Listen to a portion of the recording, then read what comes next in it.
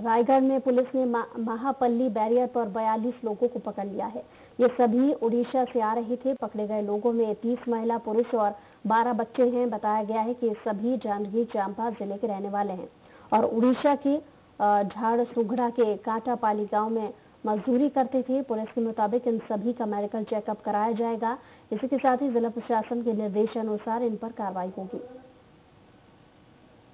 उड़ीसा से कितने लोग हैं? तीस आदमी तो देने हैं ने।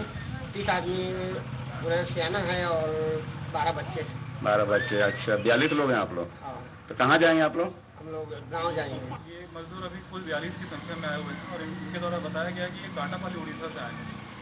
और ये जिला जानकी चांपा के निवासी हैं इनके हिसाब से जो बताया गया जानकारी। ज़्यादातर मालखरौदा और जयजयपुर के निवासी हैं। पूर्व